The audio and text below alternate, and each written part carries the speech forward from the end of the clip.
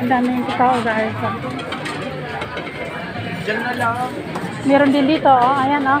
May barbecue din. Ang daming pagpipilian na pagkain.